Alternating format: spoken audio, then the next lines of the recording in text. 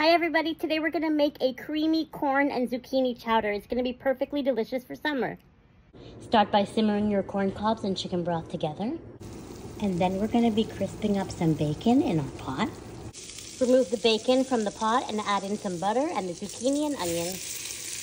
Let them soften for about five minutes. In goes the corn,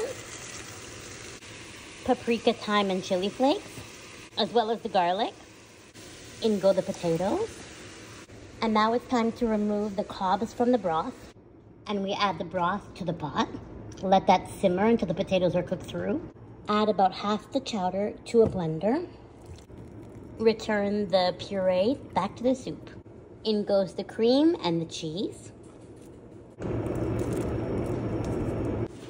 Let those cheeses melt and the soup thicken up a little bit. Add in some fresh chives and then serve with that crispy, delicious bacon.